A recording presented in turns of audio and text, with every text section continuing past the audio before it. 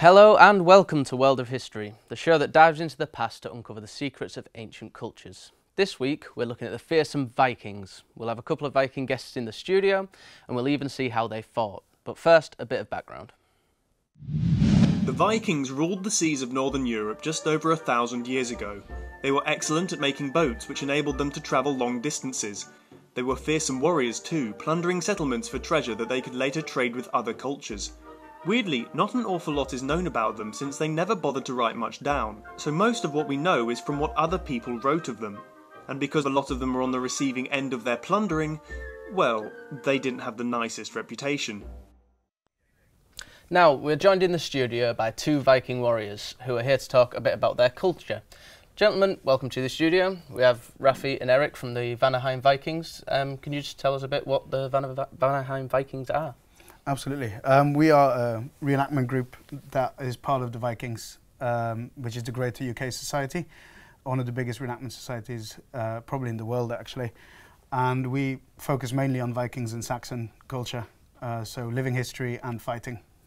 So um, just looking at you both right now, obviously you, you're both wearing very different things. Could you tell me a little bit about uh, the garb you're wearing? Well, there would have been a lot of differences in the way Vikings would have looked based upon their standing within society. Eric here, who is the uh, of our group, is representing a high status Viking. He's got a lot of deep colours, a lot of jewellery, a lot of ornamentation. My kit represents a more low status Viking it's a bit dirty, it, has been repaired, because I, I, would have wanted my clothing to last longer. I couldn't have afforded to buy new things. The colours are a bit more light, a bit more washed out.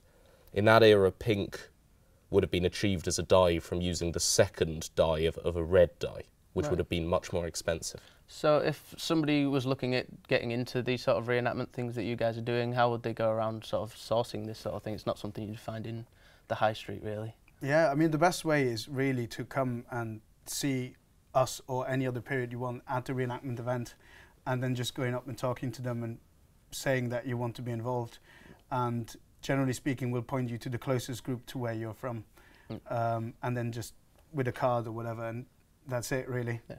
So um, a bit later on, you guys are going to be doing a bit of a, um, a battle yes. sort of tutorial with us. Um, can you just talk us through a, a, an item or two that you've got here on the table?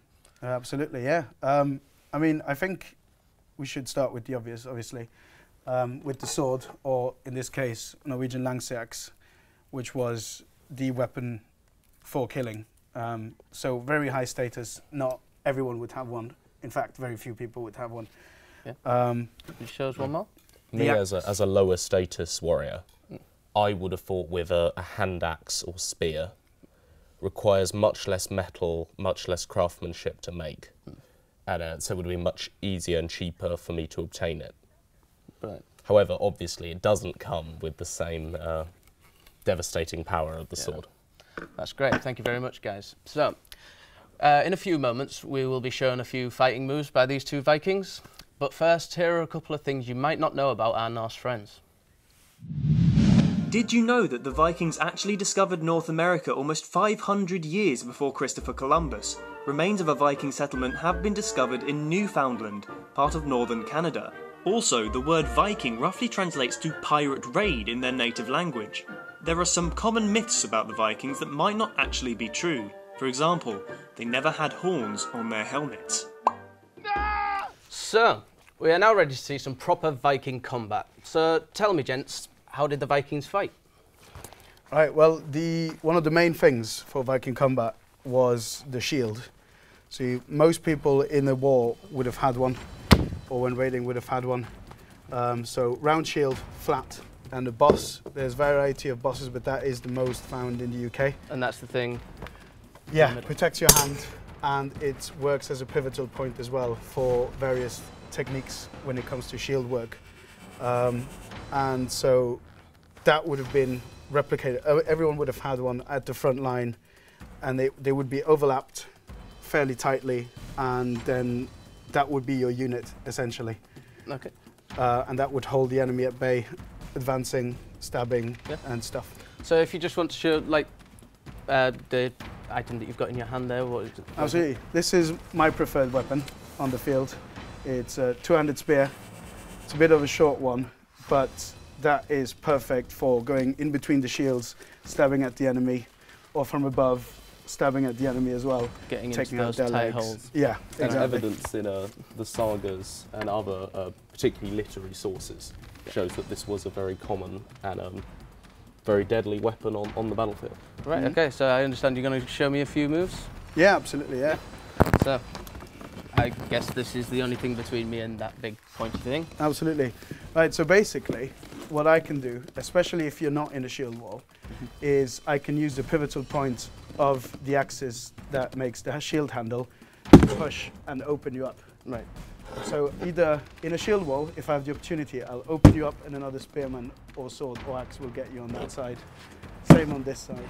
So I suppose the the guy with the weak shield would be opening his friends up to being attacked rather exactly, than Exactly, yeah. And there's ways around it. If you have lots of spears, you can overlap the shields in a different way, such that your arm is in the way of one pressure point and your person next to you, his arm is in the way of that other pressure point. Or even twisting your wrist slightly can make it harder for me to do so. Now, realistically, if you're having a round shield like that, I will go for your shin So or for your face. that would be where the shield wall comes into play with, I suppose, multiple shields upwards, maybe. Uh, you can do that. Yeah, it does happen, but from what I know, it's mostly been used for like when there's like showers of arrows uh, and the like. Basically, what you really want to do is make sure that you have other pole arms Mhm. and that the distance between me as the attacker and you as the defender is beyond my reach. And that you hope that somebody else has a bigger stick than I do. So stay Um, out the way, have a longer reach than the opponent, and hopefully Exactly. you'll, you'll come out of it a bit a bit In better. that way, the, the Precisely. real integrity of the shield wall came from all elements working together. Yeah. So you've got your, you know, your basic swordsman, axeman. You've got your shield. You're being supported on either side by other similar So- men. Viking warfare was really all about teamwork, you'd say. Yeah, pretty Yeah. much. That's great. So, uh, well, that's all we have time for today. Uh, big thank you to both our, of our Viking guests. Um, next time, we're going to be looking at the Romans. We'll see you then.